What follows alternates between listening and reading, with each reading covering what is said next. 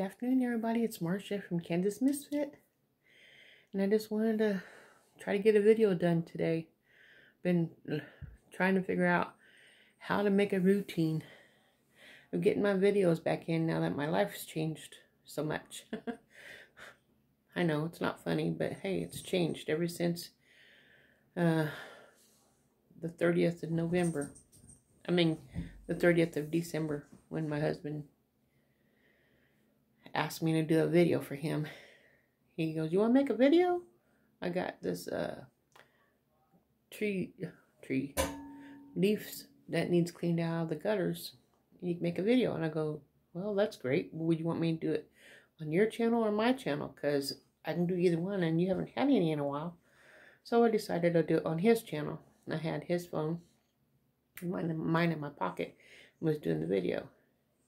Then when all this happened, we spent the hospital on New Year's Eve in in the hospital. Didn't even realize it was New Year's Eve. Too busy, uh, worried about taking care of him, making sure I learn what needs to be done so I can take care of him when he comes home, because there's nobody else that can do it. You know, we we live together. Uh, no, no one's going to be able to do it. Everybody else has their own lives to live.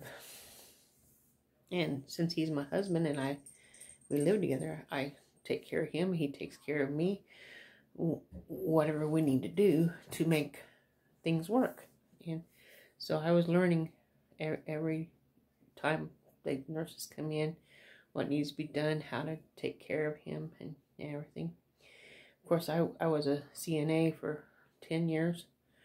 And uh, so I, I have that experience already but I haven't did it forever because I hurt my back falling down backwards, falling backwards after cleaning the shower in the shower room and messed up my back, messed up my shoulder, you know, all kinds of things, lifting people uh, when I should have had someone helping me, which no one wanted to help me, so I did a lot of a lot of it by myself, which made it hard.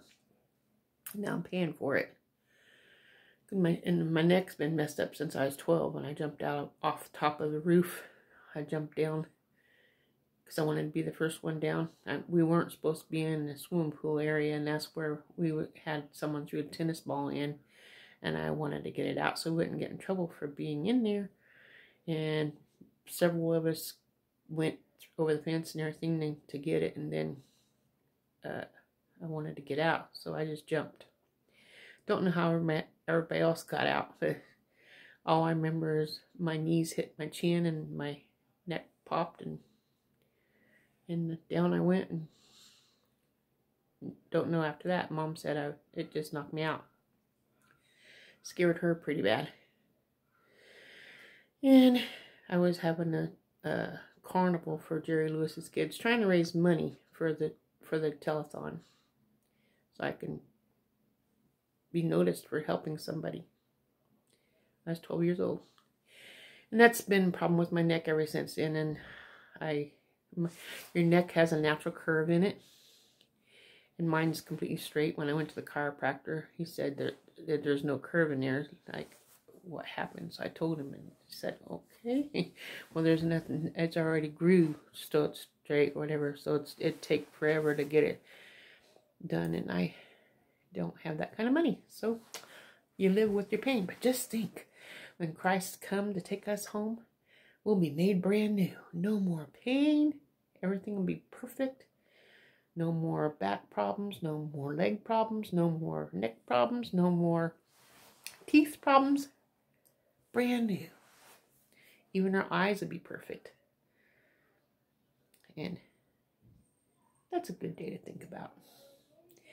But anyway, I'm just wanting to share with you because uh, my husband, I've been, he can't eat laying, he tried eating laying down and it's like, gives him too much heartburn. He always have troubles. So it's like, what are we going to do? So then he can't sit very long. And we just popped like, I think three pillows on the couch and one for his back to lean up on.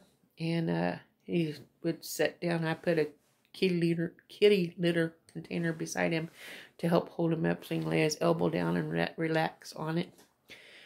And he'd sit there and eat his meal and and get up when he needed to get up because he can't sit very long because this breastplate on his back brace that hooks everything makes him straight. I mean, he can't, he can't, you know. And the doctor says no bending, no twisting, and no lifting anything heavier than a gallon of milk. So he just gets up and walks and and walks and walks all over the house as, as much as he can.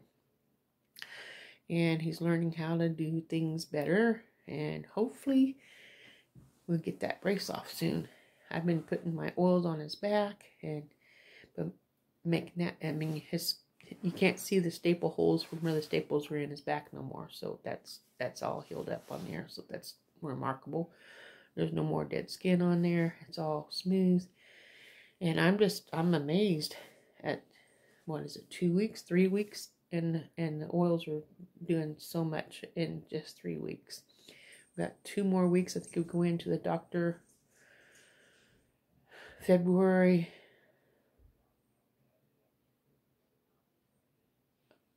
I'm getting mixed up with my dentist appointment. I have a dentist appointment in February also. I think it, I'm not for sure. I, I have it, but in February he goes back to the doctor, and hopefully he don't need his back brace after that. I'm hoping that'd be so much easier for me and for him, because sometimes it just takes two or three tries to get it to go on right, and we get on each other's nerves. I have to leave the room, readjust all the straps, pull them all loose, wrap them over, and hook them down with Velcro, and then try to stick it back under him and do it all over again, and the stress is real. not only for me. I mean, I know it's hard for me. But look, I'm not the one laying in the bed having to rely on that, you know. I have to think of him. He need he had he's he's in at my mercy. From from getting up, getting a bath, cleaning him up after he goes to the bathroom. I mean, I never thought I'd have to do that to my husband. but hey, you just do it because it needs to be done and I, I love him so i do whatever i gotta do. But what i want to tell you is he he made it to being able to sit at the kitchen table now. He don't have to sit on the couch to eat. So now when i cook i i put his plate on the table and whatever it needs to be done i fix it up for him. And he sits down beside me at the table. We're back to eating at the table again. Isn't that awesome? I mean i thought we're, we're, we we've been sitting on the couch together because he can't sit low now he can sit on a chair, kitchen chair. As long as the chair don't break, we'll be all right. Because I had a chair, one of our chairs break when I was sitting on it. And down on the floor I went, thump, that fast. The, straight down. And I didn't want no one helping me getting up because I needed to go at my pace because I don't no one pulling on me and hurting me. But I don't want that ever to happen to him. So our life is changing a lot. 2023 is brand new brand new year and lots of new things happening for my husband and for me. He's got to learn everything all over again. He's he learned how to walk now. Now he's going to have to learn later how to walk without the brace. And he's wanting to have the brace off by his birthday. Next month on the 28th is his birthday. So if you want to send birthday cards and wish him a happy birthday, uh, send me a message and I and I will give you my my address so you'll be able to send him cards. So if you want, I think he'll like that. So email me. I'll leave my email in the in the description below, and I'll give you the address if you ask for it. Send him a birthday card or get well card, whatever. We, we, we, he would like that, I'm sure. Anyway.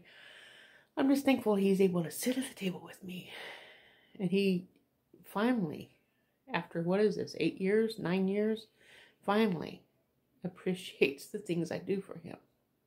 Never, ever, has he ever said, Thank you for dinner, or thank you for this, thank you for that. Now he says, Thank you for taking care of me.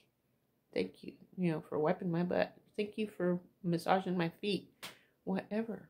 He's so appreciative of me now. So I thank God for that. I thank God for changing our lives, slowing him down, slowing me down, putting more focus on each other, building our relationship. So thank you, Jesus. I hope this touched somebody. If you like my my videos, please smash the like button. Leave me a comment, a suggestion, concern, whatever you might have. Something you might want to think that might help, you know.